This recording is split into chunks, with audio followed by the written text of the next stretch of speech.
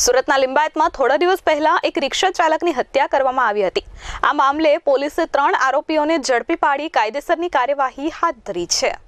આ અંગે લિંબાયત પોલીસ પાસેથી મળતી માહિતી પ્રમાણે મૂળ મહારાષ્ટ્રના વતની અને હાલ ગોડાદરા સ્થિત માનસરોવર ખાતે રહેતા રવિ વાલ્મીકી આહિર રિક્ષા ચલાવી પત્ની અને બાળકો સહિતના પરિવારનું ગુજરાન કરતો હતો.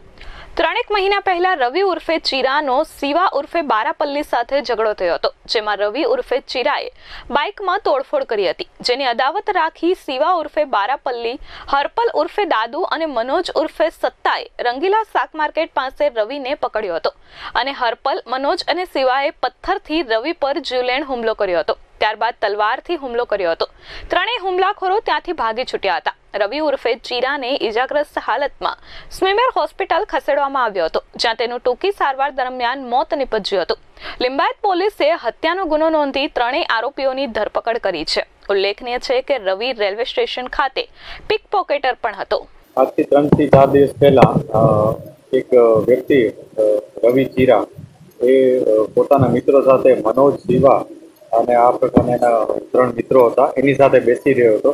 અને એ વખતે આ બંને વચ્ચે બોલાચાલી થઈ હતી. બોલાચાલીનું વધતા બંને વચ્ચે ઝઘડો થયો હતો.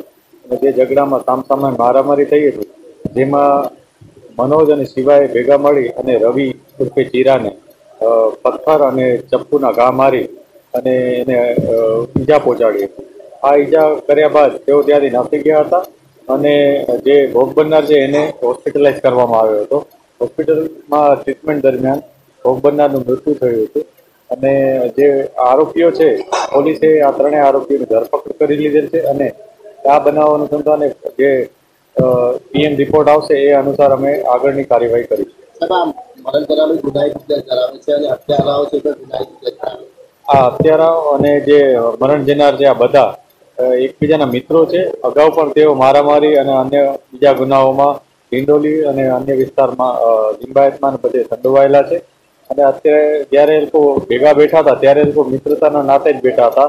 અને કોઈ પણ કારણસર બધા વચ્ચે ઝઘડો થયો હતો. અને ઝઘડાનું સ્વરૂપમાં અને આટલી ગંભીર ઈજાઓ થઈ હતી. અને આજે એનું મૃત્યુ થયું છે hospital. Bureau report, S twenty four news Surat.